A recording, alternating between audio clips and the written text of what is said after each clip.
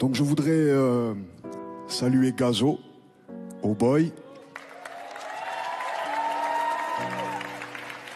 Naps, Leilo, pour ces deux Bercy remplis en presque 24 heures. Je voudrais saluer aussi Jules qui a réuni.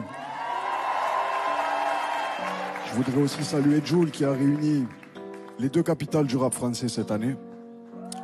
Je voudrais saluer Ginos, Sosomanes, et je voudrais aussi saluer euh, Nino, l'homme aux certifications, évidemment.